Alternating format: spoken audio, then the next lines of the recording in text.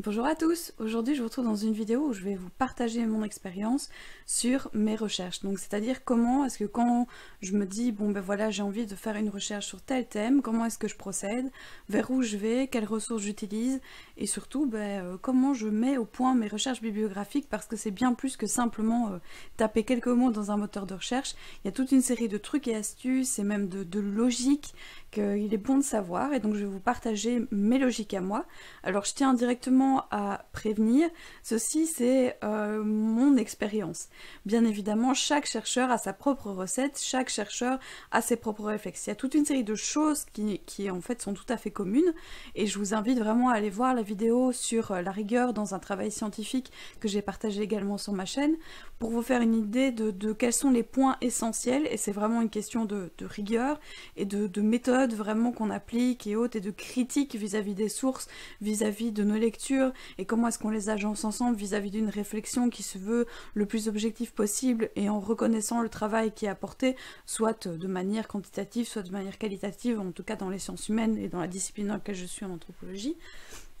Donc on a toute cette dimension-là, mais chaque chercheur, outre ces dimensions qui nous sont communes de rigueur et de construction d'un savoir et de respect vis-à-vis euh, de, ce qu'on lit, donc c'est-à-dire de ne pas tomber dans le plagiat, je ne parlerai pas cette fois-ci, mais donc, outre toutes ces choses qui reviennent systématiquement quand on est chercheur, il y a une popote que chacun euh, agence selon son expérience, ses envies, sa manière de faire. Donc, avant de commencer, voilà, quelques mots sur ma manière de faire. Je suis quelqu'un de très visuel, donc ça c'est important que vous sachiez quel type de chercheur vous êtes. Si vous êtes plutôt euh, quelqu'un qui réagit bien à l'oral, quelqu'un qui réagit bien en écrivant, qui a besoin d'écrire, euh, quelqu'un qui a besoin de, visualiser les choses, quelqu'un qui a besoin éventuellement ben, de lire en, marchant et en, et en, bougeant, et vous avez beaucoup plus d'habitude. Donc apprendre à connaître déjà comment vous fonctionnez au niveau de la mémoire, au niveau de comment vous vous vous vous imprégnez correctement des, informations, peut vous donner déjà toute une série d'éléments clés quant à, euh, on va dire, votre manière de faire et votre popote interne. Moi, je suis quelqu'un de très visuel, donc ça veut dire plein de post-it, plein de couleurs. Ça veut dire que euh, j'aime bien avoir effectivement des cahiers assez immaculés, on me l'a fait remarquer.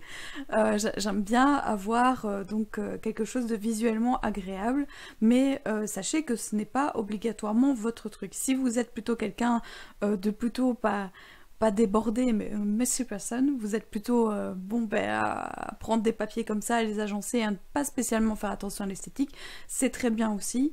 C'est euh, l'important à retenir, c'est que cette popote que vous allez construire doit vous aider à vous mettre au travail, doit vous épauler au quotidien et ne doit pas justement euh, faire que vous n'allez pas vous y mettre, que vous allez avoir difficile ou que vous allez patauger.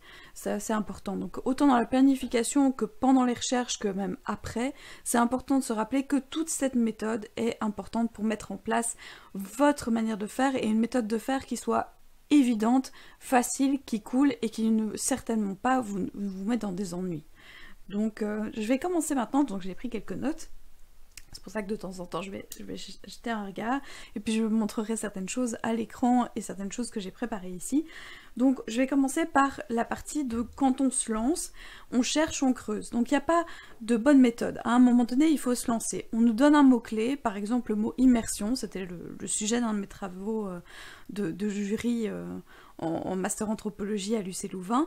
Je me suis lancé le défi de travailler sur, euh, au départ, les communautés virtuelles et puis sur l'immersion parce que ce mot est né de mes lectures. Ben, dans un premier temps, je ne connais pas grand-chose à l'immersion, et encore moins dans les sciences humaines. Je sais globalement quel est le sens du mot. Donc, ce que je conseille dans un premier temps, si vous ne connaissez pas bien le mot, c'est euh, de vous référer à, euh, par exemple, le téléfi, Oubliez Larousse, oubliez euh, le Robert, etc. C'est des outils très très utiles dans la vie quotidienne ou euh, quand vous êtes, euh, on pourrait dire, avant le stade de l'université, mais sachez que ce sont des dictionnaires qui sont plus orientés vers la vulgarisation, et donc qui ne sont pas d'une euh, précision et d'une critique vis-à-vis des définitions qui est attendue quand vous êtes dans un travail de type universitaire.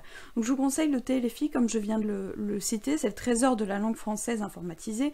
Ce qui est génial, c'est qu'il est en ligne, donc vous y avez accès quand vous voulez.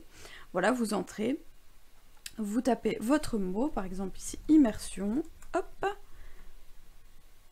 et vous tombez sur toute une série de définitions et même les origines, qui va vous permettre dans un premier temps de comprendre toute une série de, premières pistes, voire peut-être même, vous voyez, dans certaines disciplines comme la religion, la physique, etc., va vous permettre de comprendre toute une série d'éléments et donc c'est une première entrée, c'est définir.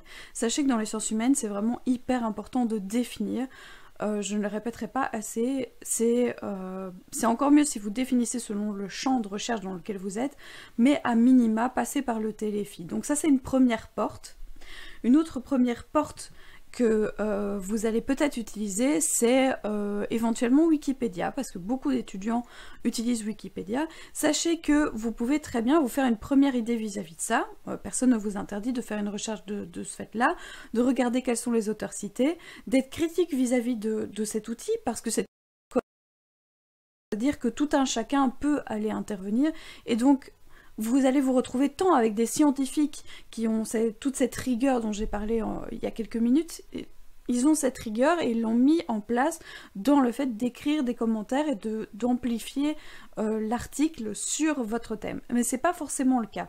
Donc c'est pas mal pour vous faire une première idée, mais sachez que c'est vraiment une première idée que vous allez devoir vraiment euh, décortiquer, vous allez devoir être critique vis-à-vis -vis de ça et regarder dans la bibliographie, ça peut vous aider à trouver une porte d'entrée. Donc pas de, pas de souci, vous pouvez très bien utiliser dans un premier temps Wikipédia, mais c'est vraiment euh, le premier pas, euh, c'est juste ce qui va vous mettre le pied à l'étrier. Mais vous ne devez certainement pas vous arrêter là, et c'est juste pour vous faire une idée. Ça ne doit pas se retrouver dans votre travail comme source scientifique, en tout cas dans tout ce qui est partie, euh, on pourrait dire bibliographique et recherche scientifique, ça ne s'y trouve pas. Ça pourrait être éventuellement une ressource de terrain, et là encore, c'est à prendre avec grande prudence.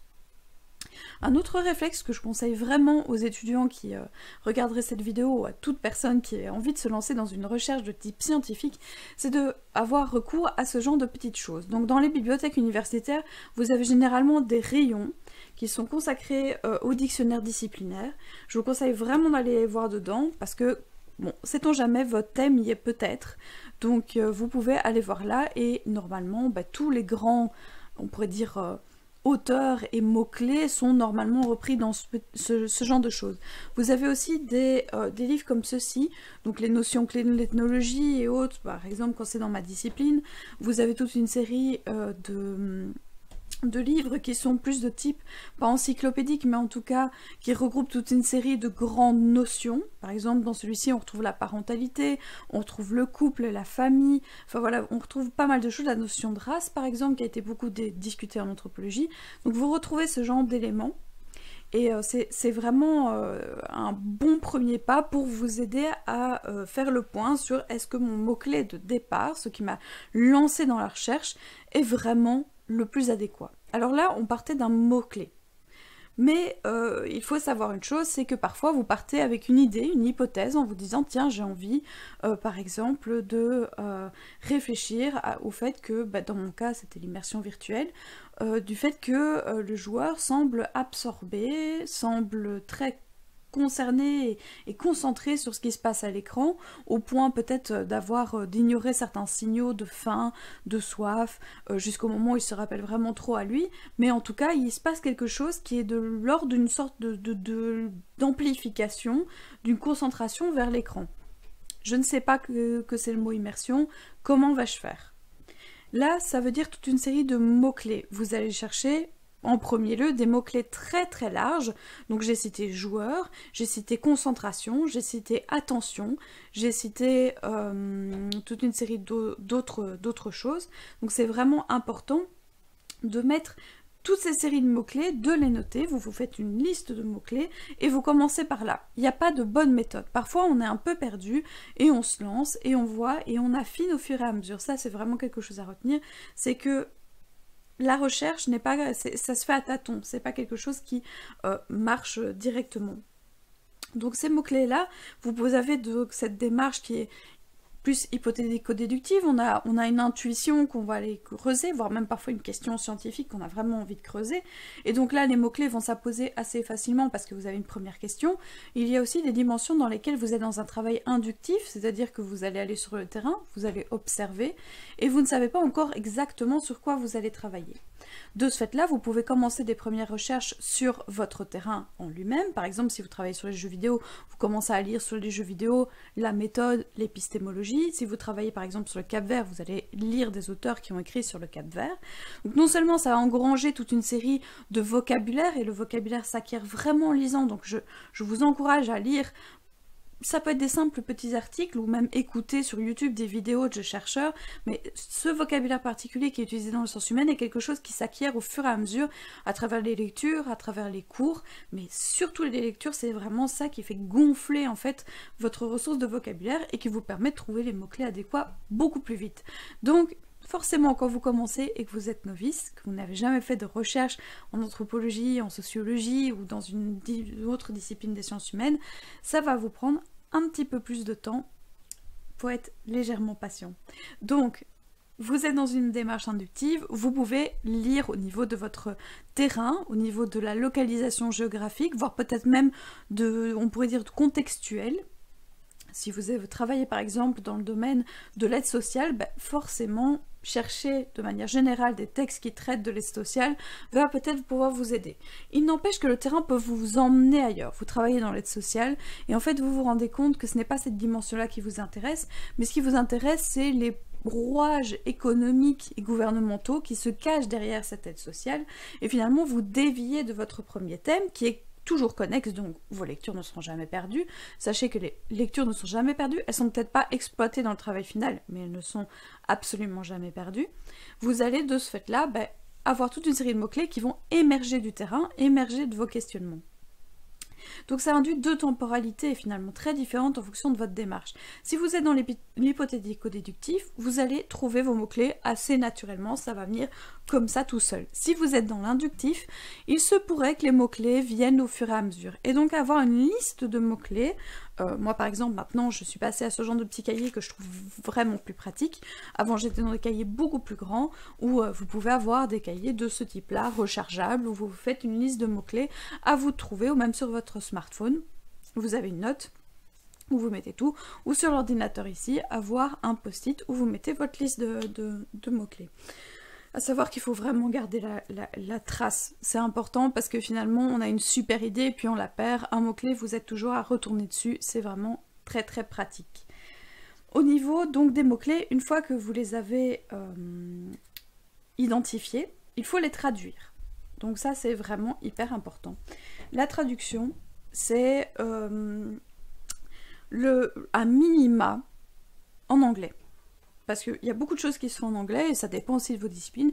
Si vous travaillez sur le Cap Vert et que vous ne traduisez pas en portugais, euh, portugais, espagnol, etc., donc dans un, un, on pourrait dire de linguistique qui est quand même proche, c'est un peu dommage pour vous, mais bon, si vous ne parlez pas espagnol ou portugais, c'est un peu compliqué.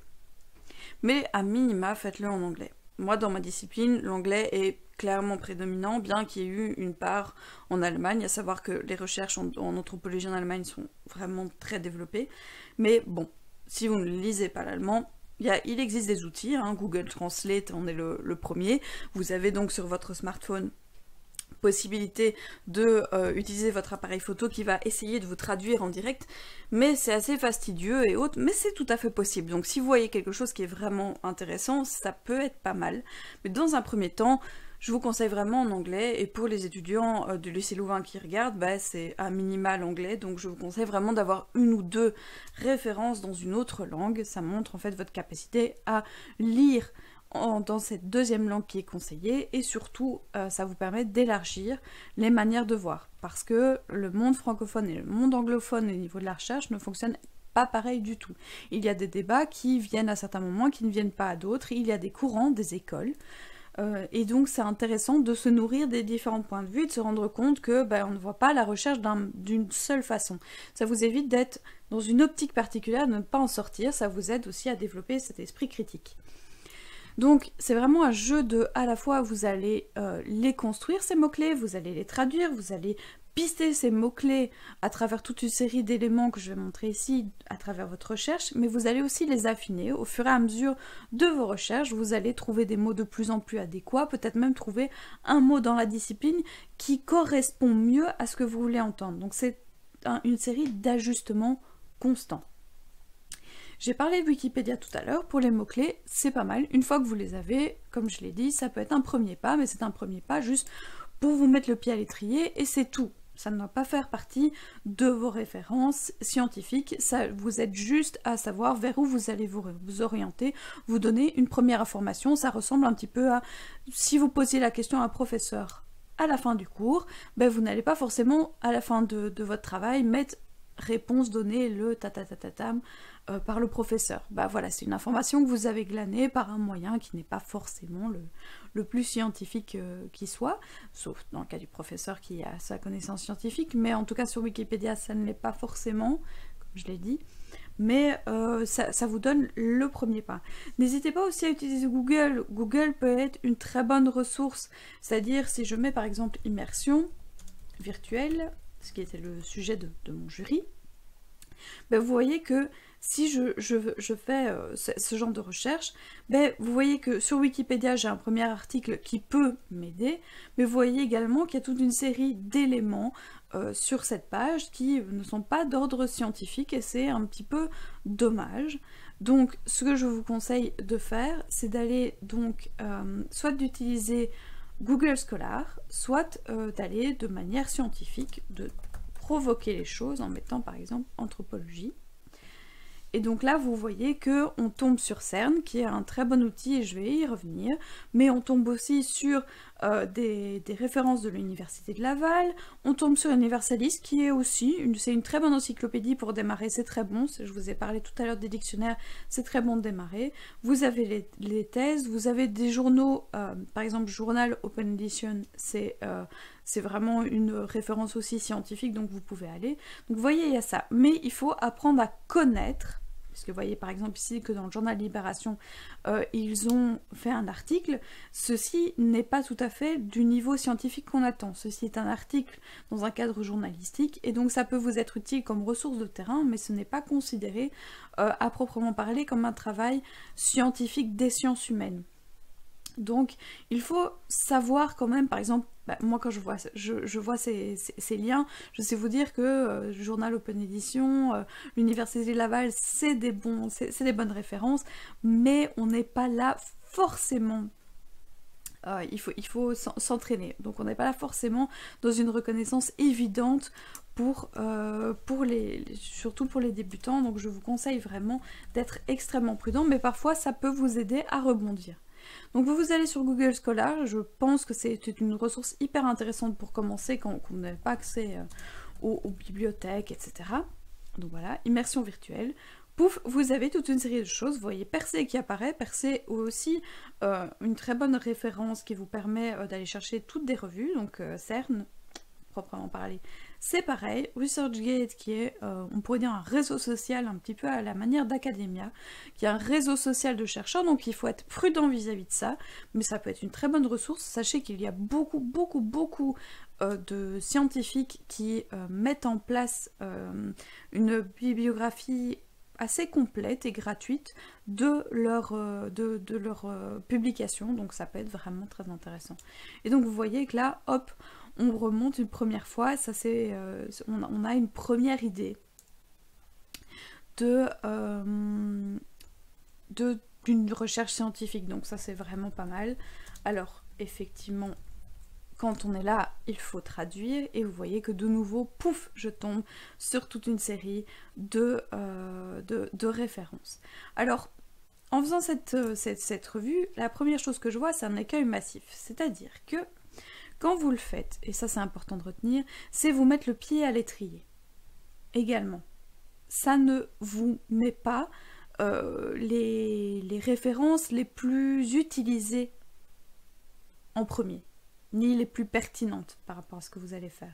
Donc c'est vraiment important de retenir que ça, c'est, on entre par là où on entre. Il se passe quelque chose, bah il faut qu'on trouve un point d'accroche et ainsi on va remonter le fil pour affiner au fur et à mesure et être de plus en plus, euh, on pourrait dire, pro de sa question de recherche et arriver finalement à vraiment mettre en place une sorte de critique personnelle vis-à-vis de la question et de savoir quels sont ces auteurs incontournables et quels sont les auteurs incontournables pour toute une série de chercheurs qu'on a pris et donc ne pas passer à côté d'un livre important. Par exemple, je pense dans le cas de l'immersion, bah, je pense au livre de Calera, bah, Calera en anglais bien évidemment. Euh, bah, si vous ne l'avez pas, vous ne l'avez pas repéré, c'est un petit peu problématique. Il y a toute une série d'autres chercheurs qui ont travaillé sur ces questions-là, je ne vais pas m'étaler sur cette recherche ici, mais en tout cas, si vous êtes si vous êtes passé à côté, parce que ici vous passeriez clairement à côté si vous vous satisfaisiez de, de juste euh, les références qui sortent ici, bah, ce ne serait pas suffisant.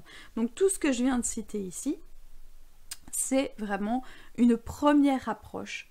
C'est une façon euh, de, vous lancer, de commencer à, à lire pour toute une série de, raisons, je pense que c'est pas plus mal quand vous êtes euh, étudiant de lire quelques articles afin de bien cerner si vous avez bien repéré le bon mot-clé.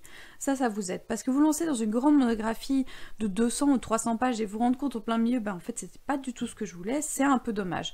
Alors que vous pouvez vous faire plus rapidement une, une idée sur votre mot-clé à travers toute une série des articles. Donc, pour récapituler, vous avez mis en place vos mots-clés. Ces mots-clés, vous allez à la fois les chercher sur Wikipédia, à la fois les chercher sur Google, à la fois les chercher dans des dictionnaires, dans des encyclopédies et dans des recueils, au niveau théorique. Donc là, vous avez déjà pas mal de premières approches, vous savez plus ou moins où vous allez, quelle est la définition générale où vous allez, et donc ça peut être pas mal. Ce que je vous conseille, petit conseil en passant, c'est vraiment d'utiliser euh, ceci, c'est-à-dire les favoris. Euh, moi, j'utilise par exemple, bah, voilà, thèse, voilà. Vous faites un, on pourrait dire un dossier qui va apparaître en bas sur votre écran euh, ici. Donc vous allez pouvoir le, euh, le, placer là. Donc vous pouvez mettre par exemple recherche scientifique.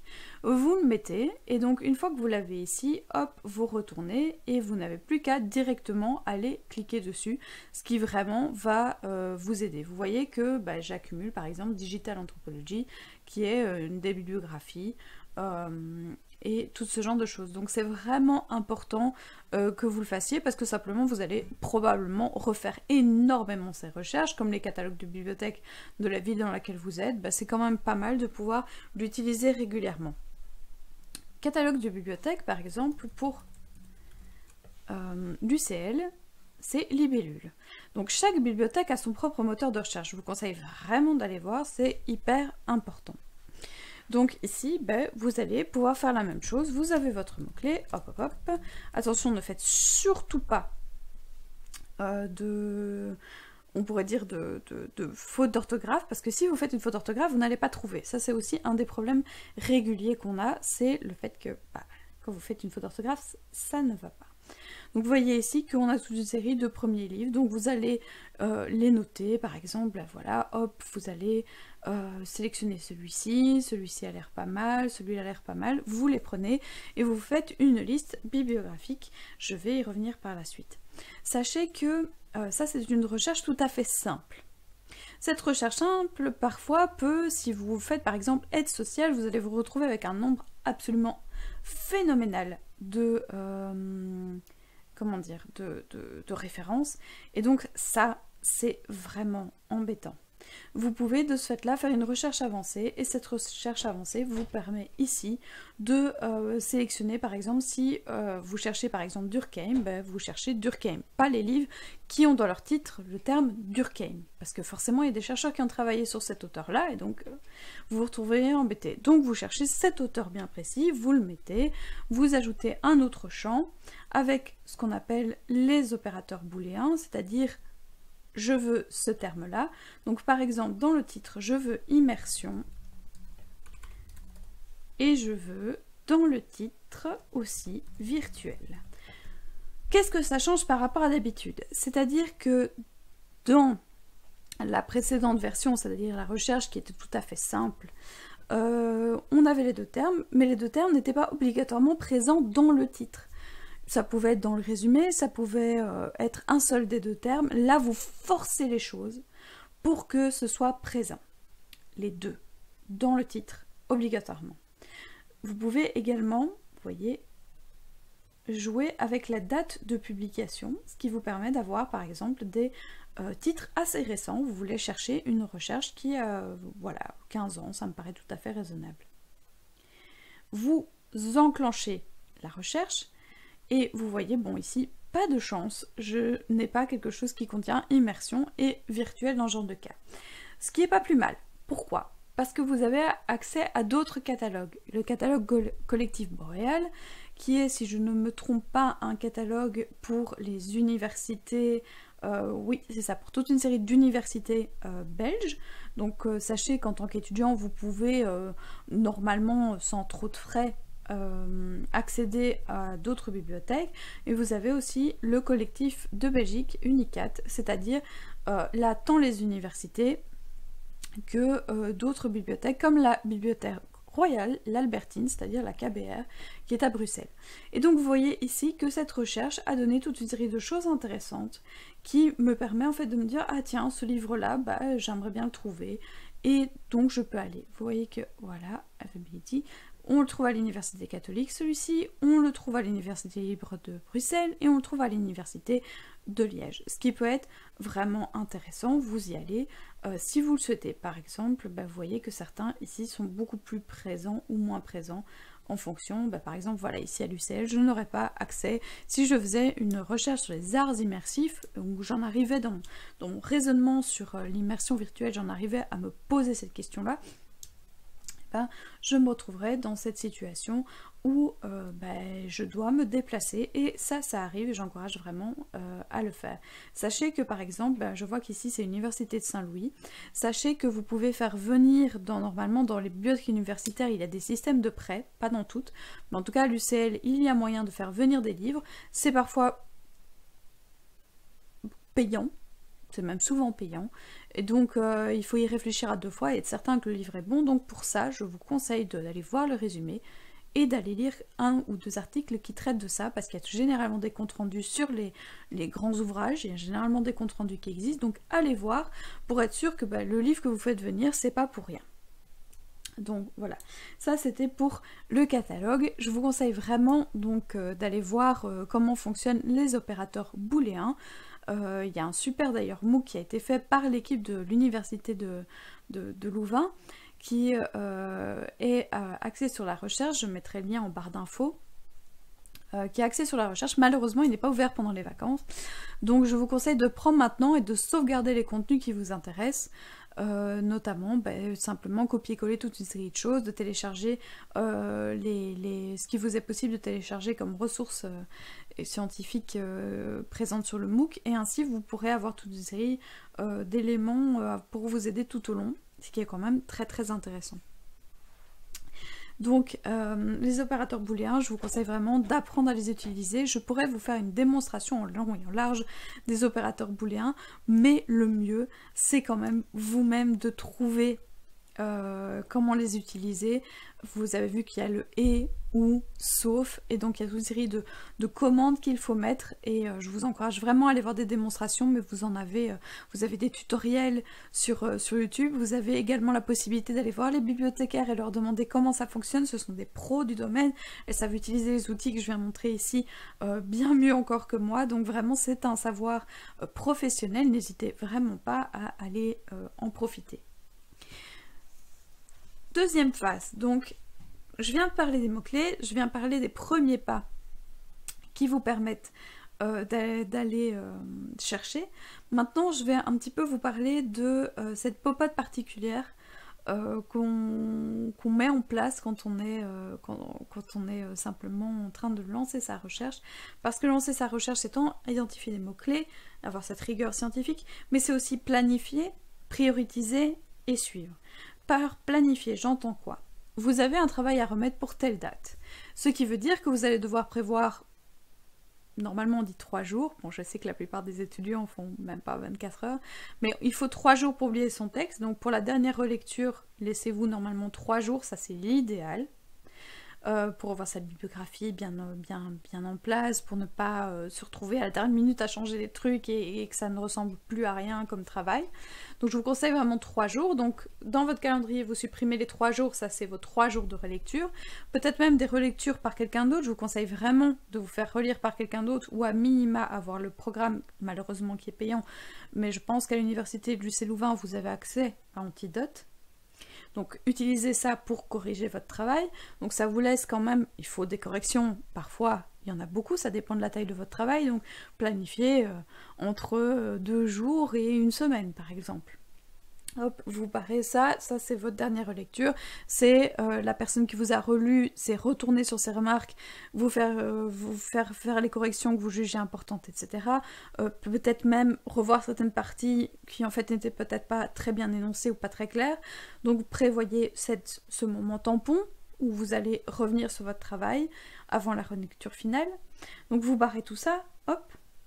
Votre temps de lecture, alors ça, ça dépend du nombre de lectures que vous allez avoir, mais soyez raisonnable, laissez-vous du temps. Sachez que trop se laisser de temps, c'est pas bon non plus parce qu'on a tendance à procrastiner, on est tous comme ça. Donc, vous prévoyez ça. Et dans votre calendrier, ben, vous voyez ce qu'il vous reste pour une recherche. Parfois, ben, vous vous dites, oh, c'est bon, j'ai deux mois. Parfois, vous avez euh, deux, trois semaines où il faut être actif. Et dans ce cas-là, planifier, prioriser et suivre va être d'autant plus crucial parce que vous n'avez pas de temps à perdre. Mais même en temps normal, ça vous permet de déposer ça dans un coin de votre tête et de ne plus y penser. Moi en tout cas je fais comme ça et euh, ça m'aide énormément. Donc une fois que vous avez ça, c'est super utile. Mais ce n'est pas seulement utile dans le sens de planifier votre travail, c'est aussi vous mettre ce que j'appelle des milestones, c'est-à-dire de diviser votre projet. Parce que quand vous êtes, plus le projet va être important, et ça je pense notamment aux mémoires pour euh, les étudiants qui regarderaient ça dans le cadre de, leur mémoire, sachez que euh, plus le projet est grand, plus en fait bah, la, réussite finale et, le fait d'avoir le produit fini et le fait d'avoir ce, sentiment de ah j'y suis, je l'ai fait ou en tout cas je me sens progresser peut arriver très tardivement.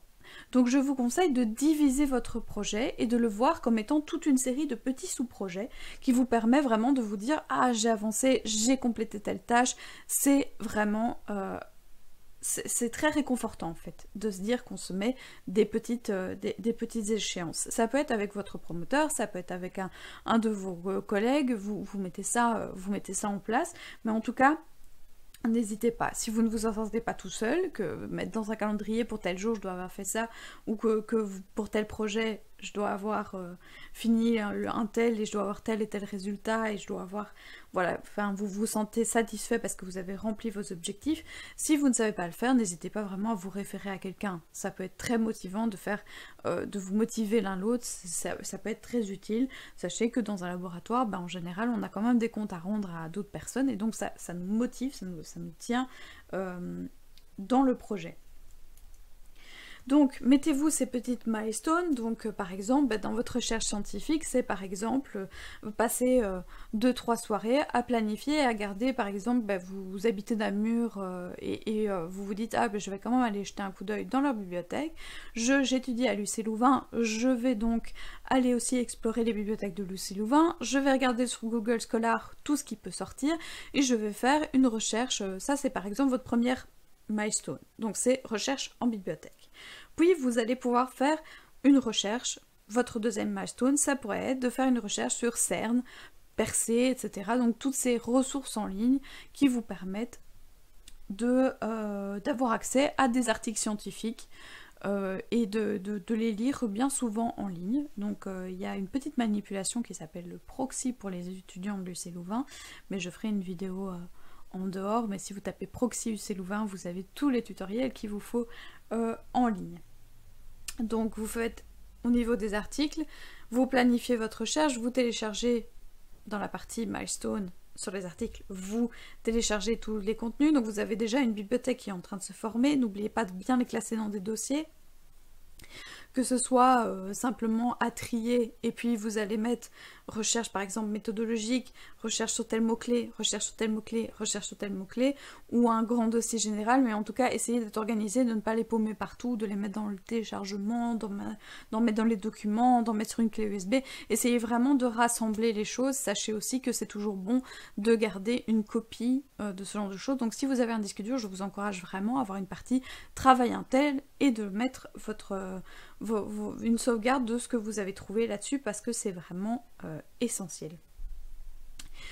Donc vous avez toutes ces milestones là. Vous avez après les milestones, aller en bibliothèque et aller chercher les, livres. Alors là, il y, a, des divergences dans les manières de faire. Vous pouvez très bien être la personne qui a besoin d'aller en bibliothèque pour travailler, donc vous allez aller à répétition. Euh, moi, je vous partage mon expérience. Je ne suis pas comme ça, surtout que ben, euh, j'ai commencé mon parcours par histoire de l'art, et donc je devais aller dans les archives, et les archives, ben, ça nécessitait une prise de rendez-vous pour certains, ou, des horaires très restreints. Euh, aussi, simplement, au niveau financier, je ne me voyais pas de retourner dix fois après un trajet en train, peut-être même en voiture, et etc. Je ne me, me voyais pas d'y retourner dix fois. Et donc, j'ai mis en place une autre technique. C'est-à-dire que, et je vous parlais de la Milestone Bibliothèque, je me faisais euh, une liste que je vais essayer de vous montrer ici. Je me faisais une liste bibliographique. Et cette liste bibliographique, j'allais, euh, je planifiais en prenant les cotes. Les cotes des livres. Tiens, je ne le retrouve pas. C'est intéressant. Je me faisais une liste des, livres, comme je fais ici en fait simplement, ça, peut être pas plus mal. Euh, je me faisais une liste des livres, comme vous pouvez voir ici à l'écran. Donc je me faisais une liste des livres avec les références, dans quelle bibliothèque ça se trouvait, et donc je planifiais en disant bah, il faut que je trouve tout ça. Et donc j'allais chercher les livres, je les regardais, donc je vais vous montrer euh, dans une deuxième partie de vidéo, quand vous avez un livre en main, comment est-ce que vous devez l'analyser, en tout cas comment moi je l'analyse, et euh, toutes les séries de trucs et astuces qui peuvent vous être utiles. Mais donc vous, allez euh, chercher donc euh, toutes ces cotes, vous jugez de ce qui est important et autres. Et ce que je faisais, bah, à l'époque j'avais un petit appareil photo, mais maintenant on a les appareils photo de smartphone. Sachez aussi qu'il y a des photocopieuses qui sont là. Elles sont payantes, donc je vous conseille de prendre plutôt un appareil photo. Euh, sachez que de ce fait-là, ayez une batterie, ça peut vous être utile parce qu'une fois que vous êtes en rate de batterie, bah, ça veut dire que votre recherche est terminée. Donc euh, je faisais des photos des pages et ça me permettait de garder la trace. Et donc quand je rentrais, je les mettais dans les dossiers avec le nom du livre et ça me permettait d'avoir les ressources directement chez moi et je les traitais depuis chez moi. Donc ça c'est vraiment à vous de le sentir, si vous retournez plusieurs fois c'est très bien, si vous empruntez aussi. Donc à vous de sentir, mais en tout cas dans les bibliothèques, soyez vraiment... Euh, ayez planifié les choses parce que ça vous permet bah, d'aller simplement et de trouver un maximum de ressources sans devoir retourner plein de fois et de pouvoir travailler certaines choses depuis chez vous. Ça c'est quand même très intéressant. N'oubliez pas de bien checker les ouvertures des bibliothèques. J'ai plein d'étudiants qui se font avoir parce que les bibliothèques sont pas toujours ouvertes tous les jours. Il y a parfois des horaires particuliers, il y a parfois un jour de congé, on avait oublié. Donc vraiment planifier comme si vous preniez rendez-vous. Planifier en ayant bien vérifié sur le site de la bibliothèque qu'elle est ouverte. Comme ça, vous n'avez pas de mauvaises surprises. Aussi, réflexe à avoir. Alors, je sais que beaucoup d'étudiants ne le font pas, mais généralement à l'entrée des bibliothèques, vous avez euh, des petits papiers et s'il n'y a pas de toute façon à l'accueil, on peut vous les donner. Euh, vous avez des petits papiers montrant l'organisation de la bibliothèque, montrant où sont les rayons, par exemple, et quand vous avez repéré la cote, vous voyez que ça commence par exemple par BL, mais plutôt que chercher sur les trois étages de la bibliothèque de Louvain, plutôt que de chercher c'est quoi BL, il est où le BL Vous pouvez euh, de ce fait-là repérer sur le plan qui est disponible dans ces, euh, papiers qui vous expliquent le fonctionnement de la bibliothèque qui ont généralement un plan.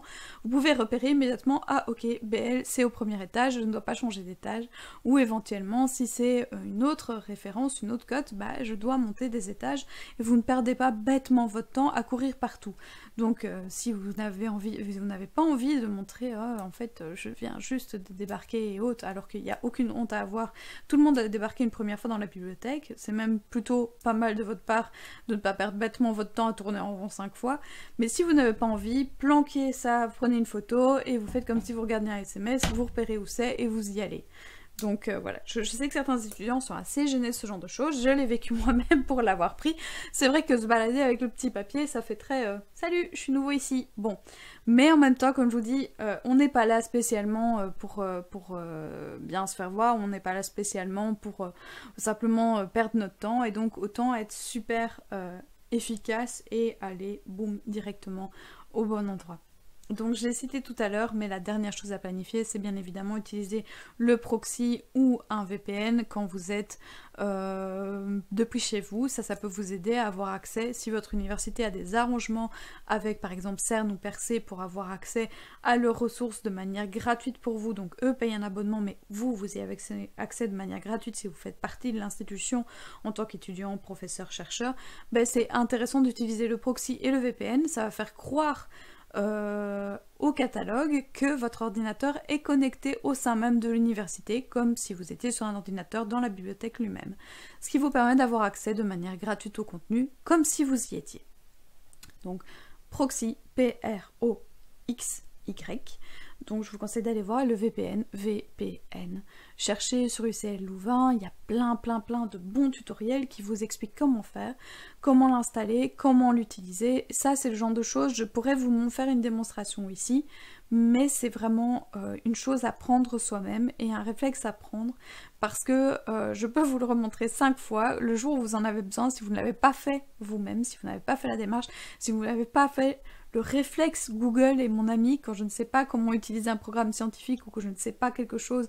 Je vais faire une petite recherche Google, quelqu'un s'est probablement déjà posé la question. Si vous n'avez pas ce réflexe-là, vous allez de nouveau vous retrouver très embêté et donc euh, c'est une manière aussi de, vous pousser à le faire et sachez que moi je suis passée par là aussi.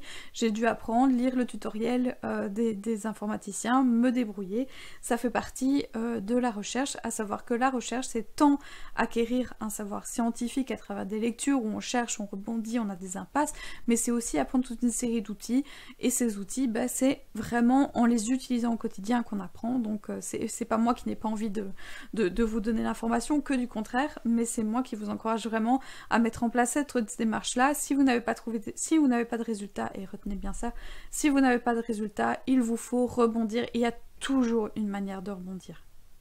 Donc ça, c'est ne vous laissez jamais euh, bloqué parce que vous n'avez pas euh, réfléchi à une autre façon. Laissez ça de côté au pire. Si vraiment ça vous obsède et que vous n'arrivez pas, vous laissez ça de côté, vous revenez à tête, euh, à tête refroidie quelques jours après, ou même simplement vous demandez de l'aide aux chercheurs, euh, plus à, des chercheurs plus aguerris, à d'autres personnes, à d'autres étudiants. Ça peut vous aider vraiment à, à rebondir. Donc sachez que c'est aussi important quand on est vraiment dans une impasse de savoir que c'est une impasse, donc c'est-à-dire que si vous êtes bloqué pendant deux semaines, ça ne sert à rien de continuer à s'entêter. Vous vous êtes vous vous êtes laissé penser à autre chose, vous avez essayé d'autres chemins, vous n'y arrivez vraiment pas. Il y a toute une série de personnes ressources qui peuvent vous être utiles et vraiment aller vers eux, surtout je pense pour les étudiants, c'est important de ne pas vous laisser submerger et de laisser le temps passer. C'est pour ça que la planification reste un très bon outil, ça vous permet de vous mettre un petit coup de pression en disant ouais mais si je m'y mets pas maintenant et que je continue à bloquer, je vais vraiment être embêtée. Croyez-moi d'expérience, en étant assistante à l'UC Louvain, je vois beaucoup d'étudiants qui à certains moments débarquent avec un problème et si on l'avait pris un mois plus tôt, ça aurait tout changé.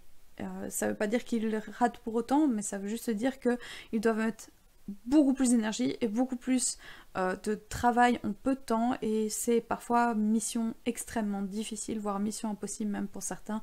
Déjà eu des étudiants qui venaient en mai me dire que leur, euh, travail qu'ils devaient remettre en fin mai euh, c'est-à-dire deux trois semaines plus tard, et ben en fait ils en étaient nulle part parce qu'ils avaient bloqué et que c'était devenu une montagne. Tout le monde a ça, c'est-à-dire que quand on est bloqué, et ben on finit par en faire une montagne et c'est vraiment pas une bonne idée. Donc n'hésitez pas, il faut rebondir, que ce soit rebondir par vous-même parce que vous avez finalement une nouvelle idée, un nouveau mot-clé, vous avez lu quelque chose et boum, ça, reprend, mais que ce soit aussi en allant vers les personnes ressources quand vraiment vous êtes coincé.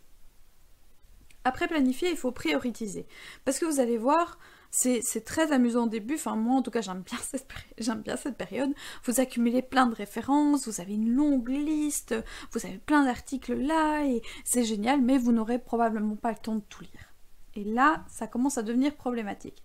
Donc vous devez prioriser vos recherches tant dans le fait de vous dire, bah tiens, j'ai assez peu de temps, donc je peux pas aller dans toutes les bibliothèques dans lesquelles je voulais aller.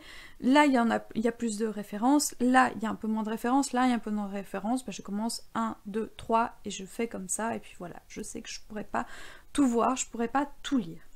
Donc c'est tant dans ce côté-là que dans vos recherches tel mot-clé est plus important que tel mot-clé, donc je vais investir en premier ce, premier grand mot-clé, et puis si j'ai le temps, j'irai dans les autres. Ou alors les deux là sont importants, donc je prends 10 références de chaque, et je vais dedans. Donc c'est vraiment à vous de concevoir ça aussi de manière stratégique. Réfléchissez à une stratégie vis-à-vis de ça et prioritisez. C'est prioriser ensuite une fois que vous avez vos documents et que vous pouvez les lire, les lectures. C'est-à-dire que si ce livre est super intéressant, mais en fait vous vous rendez compte que dans le résumé et dans la manière de faire les chapitres, le document n'est pas vraiment tout à fait sur votre recherche, pourrait être intéressant mais ne l'est pas tout à fait, il est clairement dans une catégorie qu'on pourrait euh, classer, moi j'aime bien fonctionner par les couleurs, hein, donc euh, je fonctionne, euh, je déteste le rouge par exemple, mais je fonctionne avec rose pour, c'est vraiment très important, vert c'est voilà, c'est tout à fait adéquat, il faut que tu ailles. Bleu, moyennement important, mais ça peut être intéressant. Et orange, c'est laisse tomber, enfin sauf si tu as vraiment le temps. Et donc je me fais cette, euh, cette classification-là, je passe en fluo, et de ce fait-là, ben, je sais comment faire pour euh, attaquer simplement ben, mes recherches. Donc c'est pas toujours aussi, euh, aussi c'est pas forcément évident. Si vous n'aimez pas les codes couleurs, ne le faites pas. Hein. Simplement, vous mettez 1, priorité 1, priorité 2, priorité 3. Ou même vous faites une liste 1, 2, 3, 4, 5, 6. Hop, c'est cela que je vais aller regarder. Mais en tout cas, ne perdez pas votre temps euh, à essayer de, tout lire à tort et à travers. Essayez vraiment de repérer à travers les résumés, à travers, bah tiens, tel auteur est revenu plusieurs fois, donc il m'a l'air très intéressant. C'est un pro du domaine. Euh, c'est intéressant d'aller voir. Par exemple, ben, je pense, euh, ben, dans mon cas, sur certains sujets, euh, si je veux travailler sur les MMORPG, ben, clairement, ne pas aller voir Boninardi ou Olivier Servet, c'est pas une super idée. Donc, repérer les, auteurs qui ont travaillé là-dessus, je pense aussi à Vincent Berry et ce genre de choses. J'en oublie plein, hein, mais vous avez compris l'idée, vous repérez les grands auteurs et après vous les traquez. Ça aussi, ça peut être une manière de euh, vous euh, de planifier, de prioriser vos lectures et de savoir bah il vaut mieux que je commence par là que par une personne qui a juste fait un lien comme ça, un mémo de, manière random et que en fait bah, c'est peut-être pas le, cœur même de ce, de ce que je recherche. Donc vraiment je rappelle c'est une question d'organisation, c'est une question simplement de, planifier pour vous et de ne pas perdre du temps. Au niveau de l'organisation, je vous passe ici. Euh, c'est donc outre le fait d'avoir mis mes références, euh, mes références directement dedans, je mets généralement à côté de ce que j'ai écrit euh, trois petits carrés. Ces trois petits carrés veut dire je l'ai trouvé, il est pertinent, je l'ai lu. Ça, c'est vraiment hyper intéressant. C'est-à-dire que quand vous allez dans la bibliothèque, vous allez vous retrouver face, face au livre. Donc, vous l'avez trouvé, vous cochez. Euh, vous regardez dans un premier temps, est-ce qu'il est pertinent Non, finalement, il n'est pas pertinent, vous vous arrêtez là, vous n'allez pas le lire. S'il est pertinent, vous mettez un petit V, et là, ben, vous le prioritisez dans votre liste de lecture, et une fois que vous l'avez lu, vous mettez le V, et euh, ce V, en général, voulait dire que j'allais l'utiliser. Si euh, je mettais une croix dans, la, dans, dans, la, dans, le truc lu, que je ne laissais pas vide, ça voulait dire, bah non, en fait, il ne m'est pas utile. Donc vraiment je rebondissais comme ça.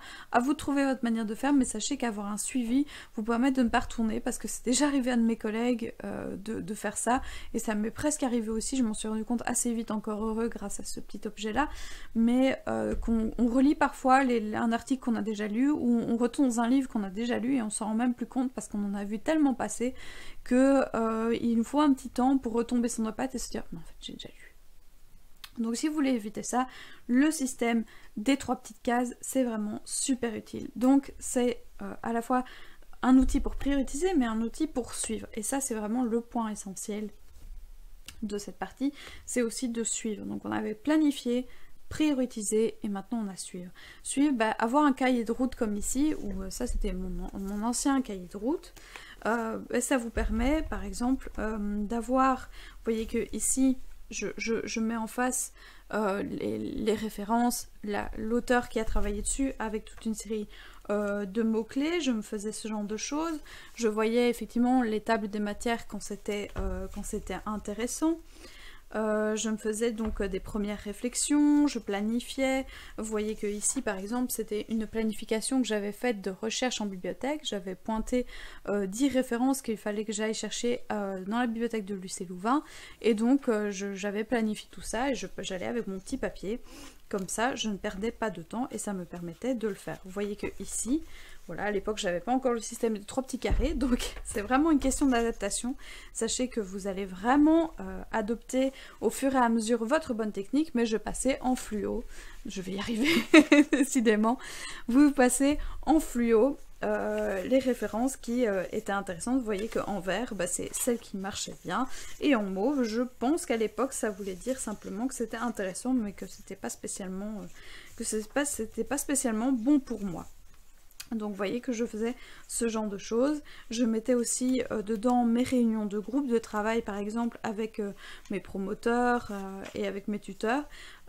et c'était ce genre de choses que je faisais. À savoir que chose intéressante que je vous place ici, parce que c'est vrai qu'on est plus dans la partie recherche, mais que c'est intéressant dès la recherche déjà de, mettre ce genre de choses, c'est de vous faire ce, ce que j'ai fait ici. Donc le côté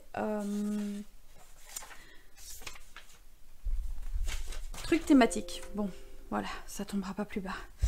Euh, donc voilà, de listes thématiques. Ces listes thématiques, par exemple, dans mon cas, c'était le mot présence, implication, euh, et je me faisais donc, euh, voilà, immersion, parce que j'ai remarqué que dans le terme immersion, il y avait bien plus que simplement la question de l'immersion, la question de la présence, de l'implication, de l'incarnation, chose que j'ai repéré en lisant et en tombant effectivement sur des références et au fur et à mesure, ne fût-ce qu'au travers des chapitres, au travers des titres que vous allez voir, vous allez avoir d'autres mots-clés qui vont émerger, donc cette liste tout temps en construction et en, affinage revient, revient, encore, mais je mettais par exemple ben, euh, que tel auteur a, traité en entier de ça, par exemple je mettais euh, que Booster de telle page à telle page traitait du mot immersion, que euh, dans Slater il y avait page un tel, tout, tout, ça, et donc vraiment je, je faisais des liens aussi entre les différents termes, et donc, faire ce genre de choses pour vous aider, ça vous aide aussi à suivre votre projet, ça vous aide à suivre vos mots-clés, et surtout, ça va vous être super, mais alors super utile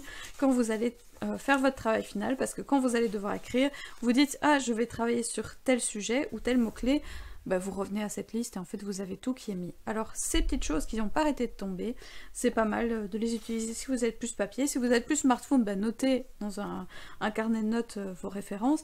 Mais si vous êtes plus papier, et à l'époque je l'étais parce que les smartphones c'était pas non plus euh, c'était pas non plus génial génial, eh ben, je mettais des, petits papiers comme ça brouillon, ainsi ben, je n'emmenais pas systématiquement tout mon barda euh, pour aller chercher, euh, enfin tout mon carnet pour aller chercher euh, mes, références, donc je notais les références que je devais aller chercher et je faisais ce genre de choses. Donc c'est vraiment, apprenez à vous connaître et avoir toute une série d'outils, mais à l'heure actuelle, maintenant je prends une photo de ce genre de choses, je prends une photo de mon petit carnet ici et hop c'est parti.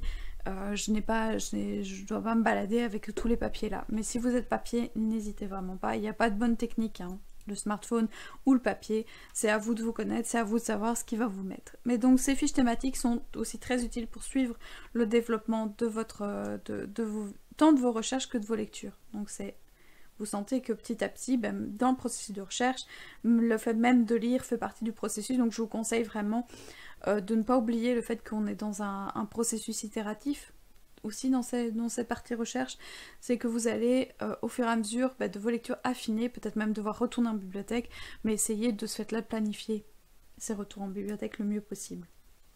Donc voilà. Euh, Enfin, je vais passer à une dernière phase. Donc là, c'est toute la partie quand on se lance, comment est-ce qu'on se lance, comment est-ce qu'on s'organise. Donc n'oubliez pas que le fait de s'organiser, de trouver un bon système qui vous convient et que vous gardez au fur et à mesure des codes couleurs. Il peut s'affiner au fur et à mesure, vous allez sentir ce qui marche le mieux avec vous. Mais en tout cas, sachez que le, grand volet, c'est de se lancer et puis c'est de planifier, prioriser et suivre. Et il y a une deuxième phase qui est euh, quand on trouve, on continue à chercher, c'est-à-dire on rebondit. Donc quand on a un problème, on, rebondit. Mais quand on a euh, quand on a trouvé toute une série de choses, on ne s'arrête pas à juste ce qu'on a trouvé, on peut aller plus loin. Alors, pour aller plus loin, je vais d'abord euh, vous présenter un petit peu les réflexes, et ça c'est vraiment l'essentiel, et tous les chercheurs reviennent là-dessus. On a effectivement euh, l'ordre d'apparition de, de ces critères peuvent changer, mais la plupart du temps, ce qui compte vraiment, c'est quand vous avez la ressource en main, et ça peut être aussi de manière informatisée, hein, euh, voilà, je vais vous montrer en niveau papier comment ça marche, mais sachez ces réflexes sont pareils quand vous avez un livre en ligne, euh, c'est pareil quand vous avez un article, vous allez observer les mêmes choses, donc je vais vous montrer ici euh, avec, avec ces deux livres-ci, mais les réflexes sont tout à fait les mêmes, donc que se passe-t-il quand on a le livre en main? Et ça, c'est vraiment un euh, essentiel. Sachez que tous les chercheurs vous le disent euh, dans la partie recherche. Ce n'est pas forcément euh, ces planifications et autres qui peuvent amener des résultats les plus intéressants. C'est parfois le fait d'avoir la ressource, une première ressource en main et de savoir comment l'exploiter. Donc ici, je vois une expérience de l'humanité virtuelle. Ok. Premier réflexe, quand j'ai ce genre de choses en main, je regarde effectivement l'auteur, rapidement le titre, mais quasi immédiatement, mon premier réflexe, c'est de le prendre comme ça. Pour aller voir les renseignements sur l'auteur de 1 et le résumé, de quoi il parle. Ok, super, je me fais une première, première, euh, première idée. Je cherche rapidement où se trouve... Alors là, c'est là que ça peut différer. Hein. Certains vont directement dans la bibliographie. Par exemple ici, vous allez directement dans la bibliographie et vous regardez quels sont les auteurs qu'il a utilisés, vous repérez ce qui vous intéresse et ça vous permet de rebondir. C'est ce qu'on appelle les remontées bibliographiques. C'est vraiment essentiel. Sachez que euh, ça vous permet de 1, ben, simplement de suivre le fil, hein, ce premier pas de passer à euh, d'autres points, mais aussi ça vous permet de confirmer. Au bout d'un moment, vous allez voir que vous allez voir les mêmes références qui reviennent encore et encore, et ça, ça vous permet de vous assurer en disant « Hé, j'ai repéré les bonnes, ça y est, c'est bon ». Donc euh, vraiment ça c'est important, donc les remontées bibliographiques c'est euh, un incontournable, tous les chercheurs passent par là et je peux vous dire que c'est euh, la base de chez base, c'est comme ça qu'on fonctionne. Moi j'aime bien aller jeter un coup d'œil à table des matières, ça vous donne une idée de la manière dont l'auteur a construit son livre, de quoi il va parler, quels vont être les grands sujets qu'il traite. Et quand je regarde par exemple ce livre je me rends compte que c'est un petit peu une euh, un aperçu euh, très très large et euh, qui couvre plein plein de thèmes de, sur, sur les mondes virtuels. Donc ça peut être un bon outil de départ. C'est pour ça que c'est un des premiers que j'ai lu pour mon jury sur les communautés virtuelles. C'est un des premiers que j'ai lu et je ne le regrette pas parce que ça m'a posé des bases hyper intéressantes. Vous voyez que si vous allez par exemple dans celui-ci, ça va être beaucoup plus spécialisé. Vous allez avoir c'est le fameux livre de Calera dont je parlais tout à l'heure, vous allez voir que euh, ben, il est effectivement beaucoup plus porté sur euh, la question de l'implication et de l'immersion, comme le dit son titre en tout cas incorporation euh, et immersion sont dans son titre et on voit qu'il y a une question supplémentaire qui est l'implication. Et là je vous renvoie à ces fameux mots clés que j'avais mis là. Donc hop je mets Calera pour les trois. Il parle des trois et c'est hyper intéressant de ce fait là de faire un lien à travers cet auteur là donc je vois qu'il s'est spécialisé. C'est vraiment euh, si je traite de cette question là lui il va falloir que je l'observe que je le lise et que je le décortique donc je vais voir sa bibliographie, ça me permet de me faire une idée sur la qualité scientifique de l'auteur aussi, parce que simplement si vous voyez qu'il y a 10 références et que le bouquin fait 200 pages, on a un problème. Donc euh, là, vous allez donc voir toutes les publications citées, vous allez repérer ce qui vous intéresse, les noter dans votre carnet et rebondir. Ça, c'est vraiment hyper important. À savoir que quand vous avez un livre ici, certains de mes étudiants disent j'ai pas forcément le temps ou juste la, la des matières, c'est pas toujours un bon indicateur. Tout à fait, je suis parfaitement d'accord.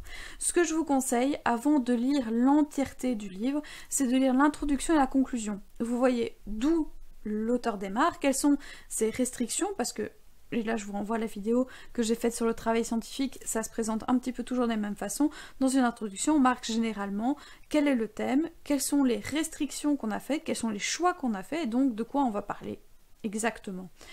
Ça vous permet vraiment de resserrer. Donc en lisant l'introduction, vous savez, ah ouais, ok, non, je m'étais fait une mauvaise idée, c'est pas l'immersion virtuelle comme je l'entends. Par exemple, ben, j'avais énormément de livres qui traitaient de la réalité virtuelle au regard de l'immersion virtuelle.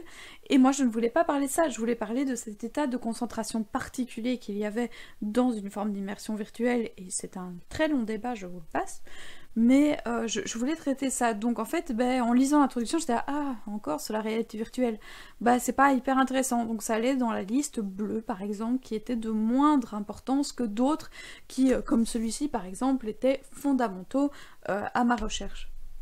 Donc ça vous permet de faire ça. La conclusion, ça vous permet de voir où l'auteur a fini et quel est finalement son raisonnement final. Vous faites, vous dégagez le fil rouge parce qu'il le récapitule normalement dans sa conclusion. Et puis certains auteurs sont plutôt un petit peu tricky. Ils ont tendance à vous présenter l'inverse de ce qu'ils souhaitent jusqu'à la fin. Je pense notamment à Descola, je pense à Ballandier, qui ne présente pas tout à fait l'inverse, mais, mais qui vous fait traverser toute une série de choses pour enfin vous révéler son vrai sujet à la fin. C'est hyper intéressant et ça vous permet de d'intégrer de manière très très forte ces livres m'ont marqué parce que ça permet, quand la construction est bien faite, on est d'accord, ce sont des très grands auteurs, mais quand c'est bien fait, ça vous permet vraiment de réaliser en fait à quel point ils ont bien construit leur, euh, fil rouge et, ça, ça, vous met un peu une claque, on pourrait dire scientifique, qui, euh, alors que vous étiez dans le débat et vous cherchiez la faille depuis le début, vous vous retrouvez à la fin en disant Ah mais oui, c'était ça. Et donc c'est vraiment intéressant de, lire cette conclusion parce qu'elle vous permet d'être sûr et certain qu'en fait ce fil rouge que vous avez repéré dans l'introduction est bon. Ça vous permet de vous faire une idée globale de l'argumentaire de l'auteur et donc c'est vraiment important. Après, si vous voulez cibler dans des chapitres, bon, je ne vous le conseille pas forcément, mais on le fait tous. C'est-à-dire qu'il y a des parties dans lesquelles c'est moins intéressant de vous y mettre et vous n'avez pas, parfois pas le temps. Donc Parfois, il faut cibler les bons chapitres. Je vous conseille de lire l'entièreté si vous le savez, parce que c'est important de voir dans quel cadre il place et vis-à-vis de quoi il, discute certaines parties de ces chapitres, mais parfois on n'a tout simplement pas le temps, et donc on lit des articles dessus, on lit des comptes rendus, on lit l'introduction à la conclusion, et on lit les chapitres qu'il nous faut. Il faut à certains moments être aussi tout à fait euh, simplement honnête vis-à-vis de sa démarche et euh, simplement ben, pragmatique à un moment donné, on n'a pas le temps et on fait avec ce qu'on a. Et c'est comme ça. On fait du mieux qu'on peut, mais sachez que dans tous les cas, si vous avez l'occasion de tout lire, par exemple ce livre a l'air énorme, mais en fait il se lit à une vitesse pas possible, si vous avez la possibilité de lire tout le livre, c'est beaucoup mieux. Sachez que c'est des risques d'erreur que de tirer un chapitre. Faites ça avec Descola, par de la nature et culture, faites ça avec lui et vous allez vraiment louper une grosse partie de son raisonnement, voire peut-être même mal l'utiliser je pense aussi euh, simplement à Natsing, vous, vous extrayez certains de, ces, citations et certains de ces chapitres, vous allez probablement louper une grande partie de sa réflexion. Donc, sachez aussi euh, le faire avec prudence. Donc, euh, une fois que vous avez ça, ben, vous faites donc le suivi des idées avec votre, votre, vos, fiches thématiques. Vous continuez à remplir le carnet, vous continuez à rebondir. N'oubliez pas que quand il y a un nouveau mot-clé, vous allez rebondir dans le catalogue. Et c'est vraiment comme ça qu'on fonctionne au fur et à mesure. Alors je vous retrouve maintenant dans une partie qui va plus traiter de tout ce qui est la recherche au niveau euh, simplement au niveau matériel. Sachez que euh, ben, chacun fait, à sa propre petite popote. Hein. Euh, et ce que je vais vous citer ici, ben, c'est des objets et des programmes que j'utilise régulièrement afin de m'aider dans, mes recherches. Donc euh, dans un premier temps, bah, j'ai commencé par des cahiers à Thomas, ce genre de choses qui me permettaient d'avoir des feuilles volantes. Seul souci, c'est les feuilles volantes qu'on peut perdre, etc. Mais ça me permettait d'avoir des pochettes et autres. Et euh, ça m'était utile à l'époque parce que simplement quand j'étais à l'université et que j'avais plein de cahiers, de syllabus et autres, c'était une taille tout à fait adéquate qui n'a fait que diminuer au fur et à mesure des années. Hein. Je suis passée à ce genre de, de petites choses qui me permettaient d'avoir le carnet de route donc les trois exemplaires que je vous montre ici, ce sont des carnets de route. C'est vraiment important de les avoir pour noter les heures d'ouverture de la bibliothèque, pour pas rechercher cinq fois les mêmes informations, les auteurs que vous avez, votre bibliographie. Euh, donc ça a diminué au fur et à mesure pour finalement finir sur ce genre de petites choses parce que je me connais, parfois j'ai besoin du rapport à l'écrit et euh, aller directement dans un carnet Evernote ou Envivo ne me plaît pas, j'ai quand même besoin d'avoir ce rapport à l'écrit, de pouvoir mettre à certains moments mes intuitions euh, dans, la première partie, donc vous voyez que je, mets mes intuitions, mes définitions en première partie, et en deuxième partie où j'ai mis un repère, je mets mes références scientifiques que je dois aller chercher euh, avec leur suivi. Donc voilà, mais si vous êtes plus smartphone, n'hésitez pas à utiliser, je viens de le citer, l'application Evernote ou OneNote, c'est vraiment hyper intéressant parce que vous pouvez faire votre carnet de route, vous avez euh, au sein des carnets que vous pouvez créer, vous créez votre carnet de route et vous pouvez suivre l'évolution, je suis allée tel jour, j'ai regardé telle et telle référence, les références à aller chercher c'est les telles, les références à prioriser ce sont les telles, donc euh, c'est vraiment super utile, n'hésitez pas à aller voir les tutoriels sur euh, Evernote, je veux même faire une vidéo, n'hésitez pas à me dire en commentaire si ça vous intéresse d'avoir une vidéo sur les diverses utilisations que je peux observer et que j'ai expérimenté pour, pour Evernote.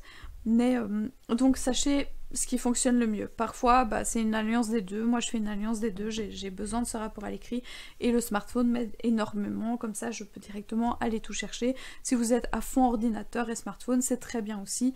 Euh, voilà.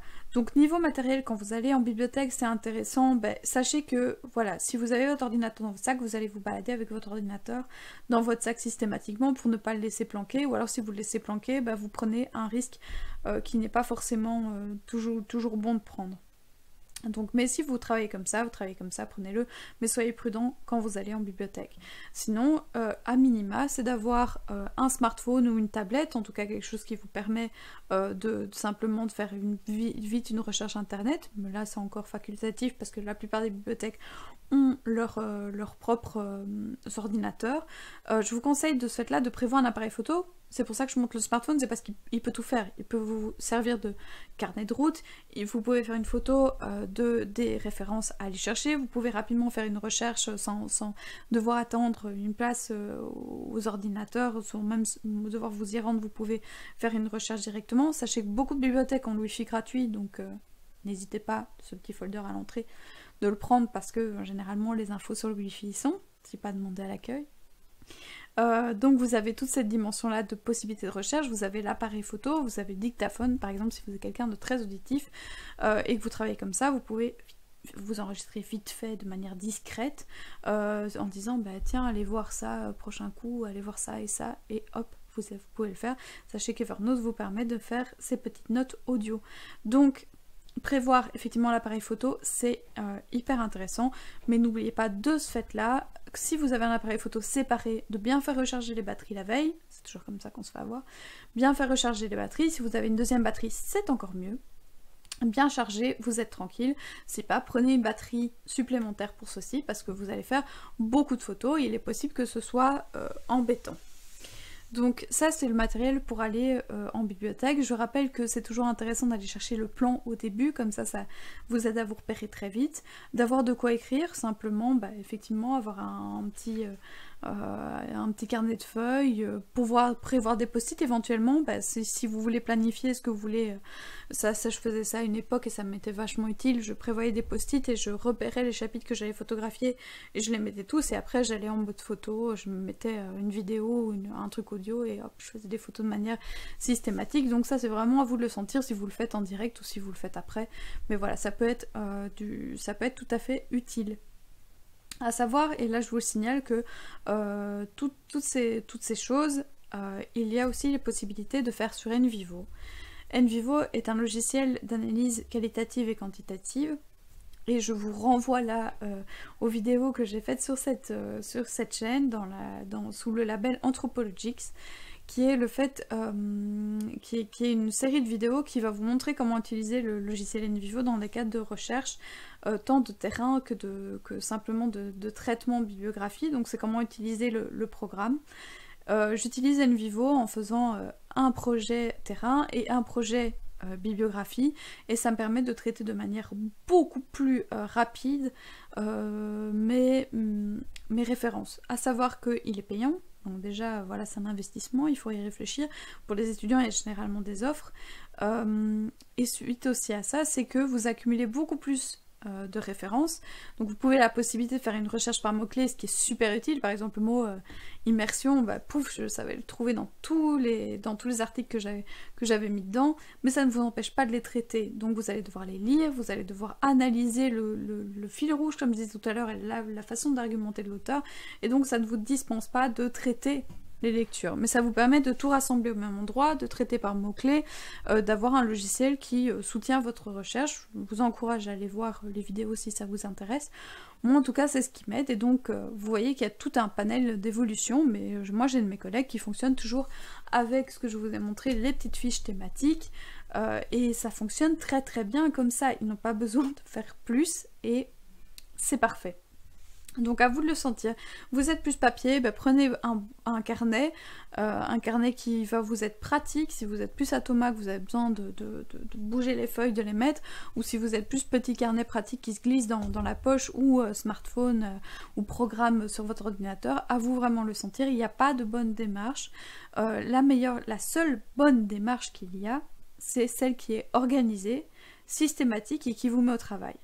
Ça c'est vraiment la seule et unique que vous devez garder en tête quand vous allez vous lancer dans les recherches. J'espère que ce partage d'expérience vous aura été utile. C'est vrai que c'est une des premières fois que je fais ce genre de vidéo, donc euh, j'espère ne pas avoir, ne pas être trop partie dans, tous les sens, mais c'est un peu, euh, voilà, c'était le partage de comment moi je, vois mes références et comment je, fonctionne afin de me lancer dans la recherche et de ne surtout pas m'y perdre. Et euh, j'espère que ce contenu vous sera utile et vous aidera dans vos futures recherches. A bientôt dans une prochaine vidéo. Bye bye